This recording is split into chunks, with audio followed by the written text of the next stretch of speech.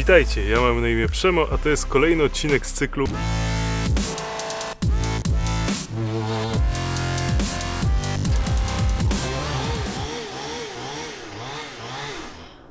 Coś tu dzisiaj piłują, więc się musimy przenieść gdzie indziej.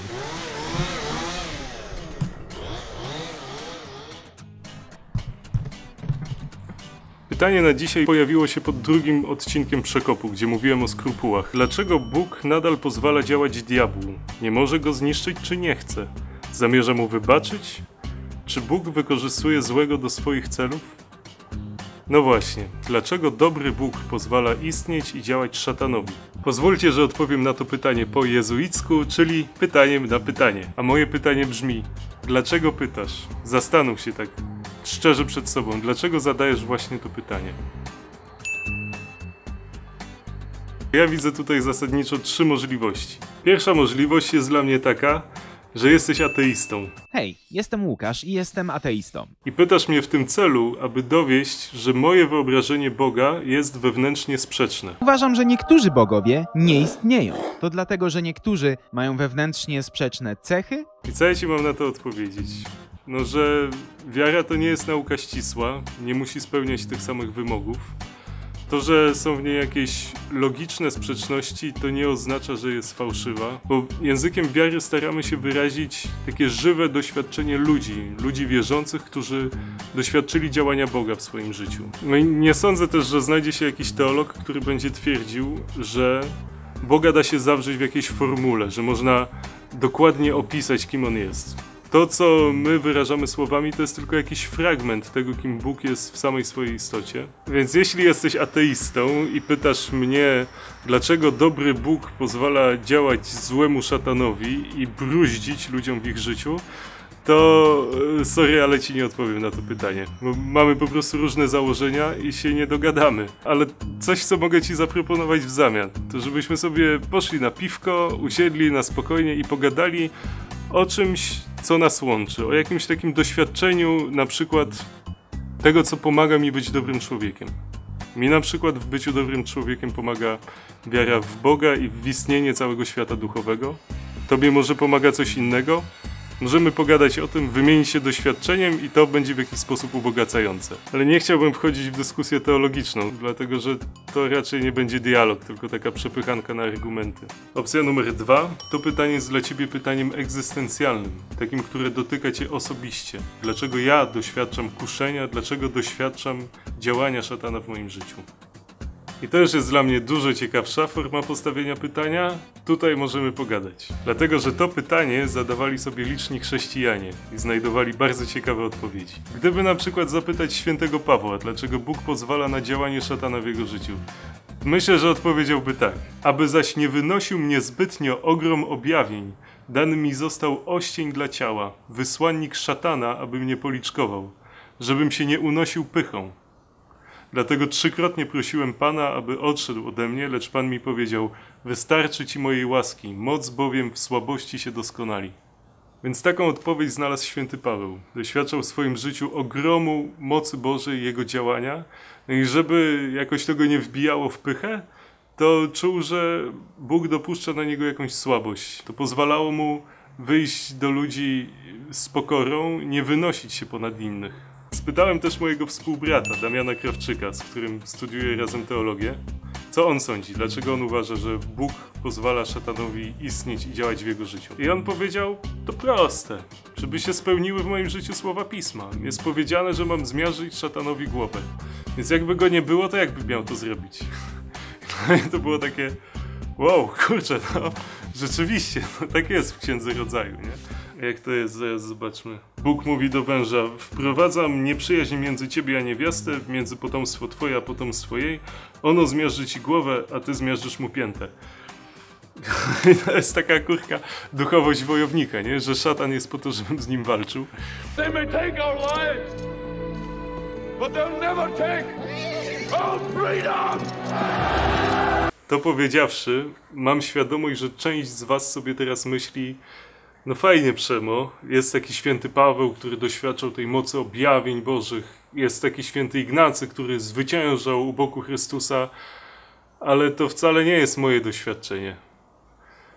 To, czego ja doświadczam, to jest to, że zły mnie poniża, upokarza, że zły cały czas kusi mnie do grzechu, który oddziela mnie od Boga.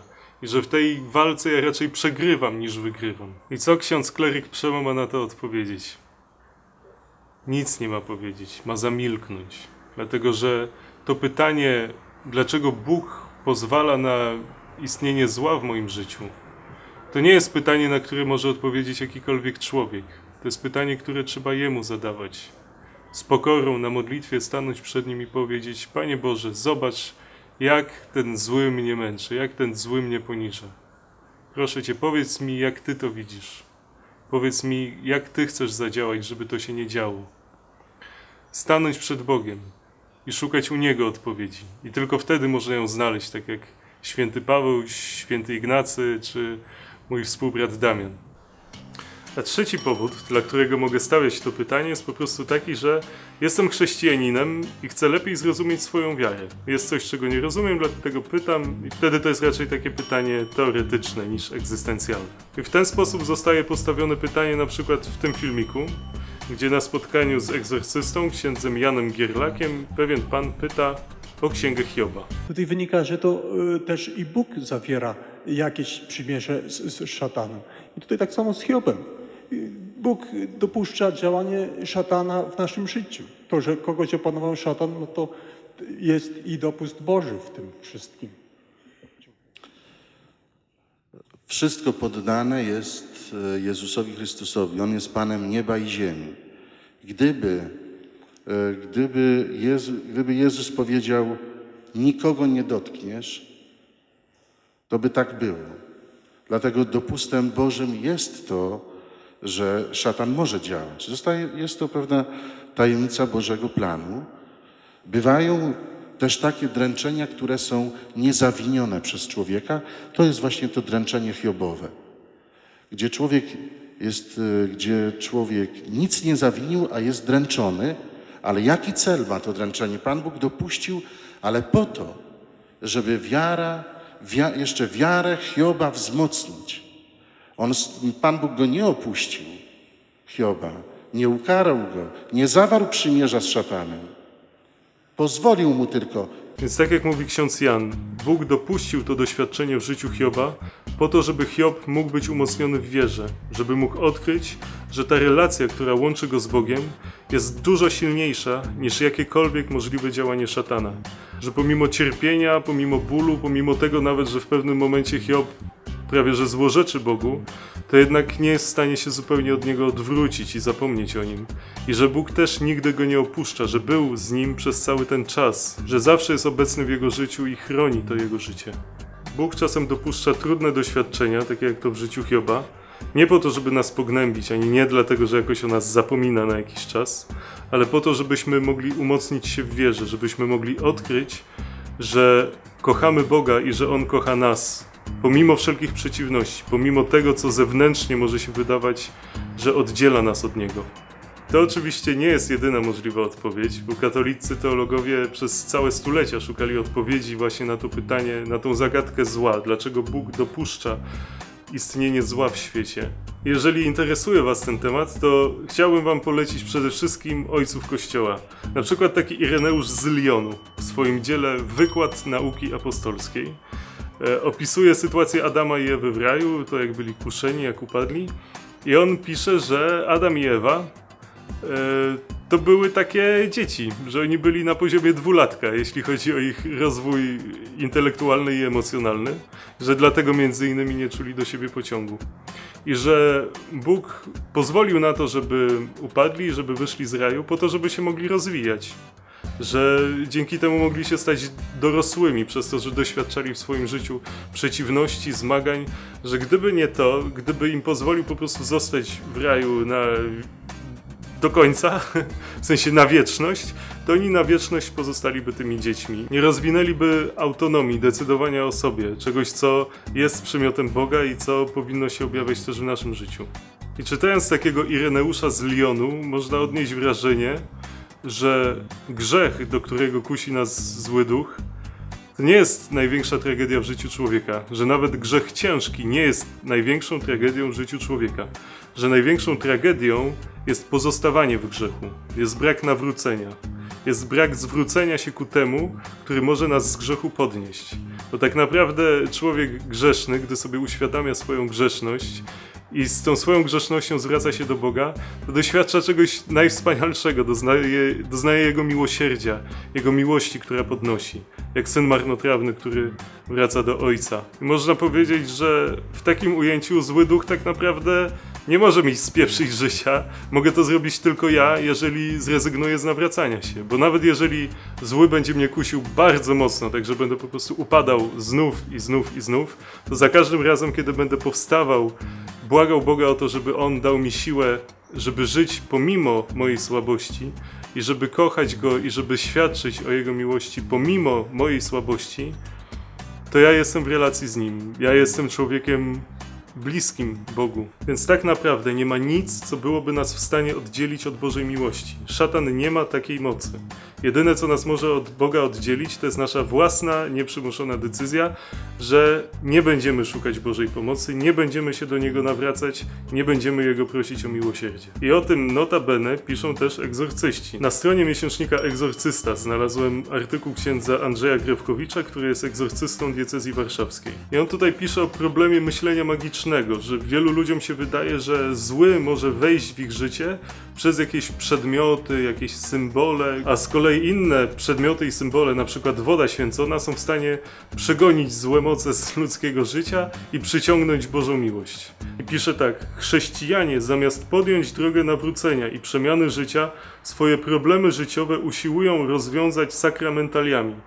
Sakramentalia pochodzą z ustanowienia Kościoła, gdzie jednak leży granica, po przekroczeniu której trzeba już mówić o magicznym do nich podejściu. I dalej jeszcze pisze, w tym momencie trzeba powiedzieć jedno: chrześcijanie to ludzie, którzy dla Jezusa Chrystusa mają zdobyć cały świat, a nie ukrywać się w okopach wody i soli, zabezpieczając się przed ewentualnymi zagrożeniami płynącymi od złego. Także on tutaj przypomina o tym, o czym wielu egzorcystów przypomina, że Chrystus już pokonał szatana i że dlatego też, jeżeli tylko jesteśmy w bliskiej relacji z Chrystusem, to zły nie może nam nic złego uczynić. A jeżeli zły nas jakoś nęka, jakoś nam uprzykrza życie, no to cóż, no tak było też w życiu wielu świętych. Tak było w życiu świętego Pawła, w życiu świętego Ignacego. Naszym zadaniem nie jest uciekać i chować się przed złym, ale po prostu być w relacji z Chrystusem pomimo tego wszystkiego.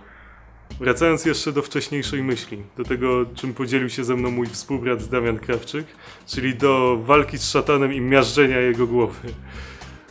To warto zastanowić się, w jaki sposób ja to rozumiem. Czy ja to aby na pewno rozumiem po chrześcijańsku, bo niestety krążą w internecie takie obrazki, które no, mrożą krew w żyłach, bo po prostu są wyrazem herezji, a nie wiary chrześcijańskiej. O czym mówię? No mianowicie o tym. Kochani, nie tak wyglądała walka Chrystusa z szatanem. Wyglądała ona tak, i tak, i tak, i tak. On zwyciężył przyjmując wolę Ojca, przyjmując krzyż, wierząc w to, że Ojciec jest w stanie wskrzesić go z martwych i potem trzeciego dnia wychodząc z grobu. Więc wszystko, czego dokonał, dokonał w relacji z Ojcem, a nie w relacji z szatanem. To jest bardzo ważne. Dlatego, że my tak samo mamy walczyć duchowo, czyli nie zwracać się do szatana przeciwko niemu, ale zwracać się do Ojca. Nie mamy poszukiwać działania szatana w naszym życiu, ale działania Ojca i Jego woli. Dlatego też w pewien sposób rozumiem tych wszystkich, którzy wolą nie używać słowa szatan, tylko używać jakichś innych zamienników. Siwy, szary, kusy, są różne wersje.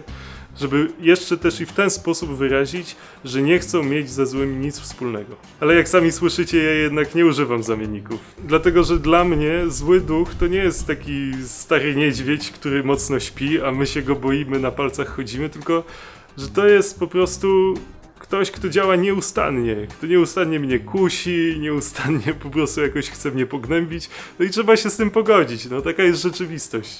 Jak mi daje za bardzo w kość, to poprosić Jezusa, żeby mu tam smycz pociągnął trochę, ale nie trzeba się go tak strasznie bać. To, czego ja się najbardziej boję, to jest brak modlitwy, brak takiej żywej, autentycznej relacji z Chrystusem, gdzie Jemu oddaję całe swoje życie. Bo właśnie brak modlitwy to jest to, co otwiera mnie na naprawdę niezły bajzel. Kończę.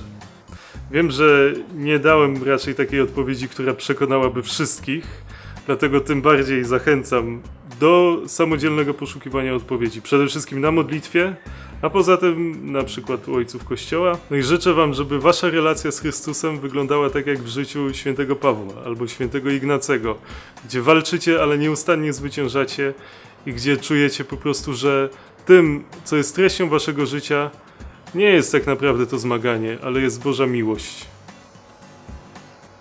Jeżeli chcecie, to napiszcie w komentarzach, co wy o tym wszystkim sądzicie.